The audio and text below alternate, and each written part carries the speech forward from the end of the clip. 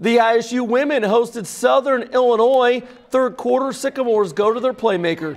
Deljanae Williams takes it in for two.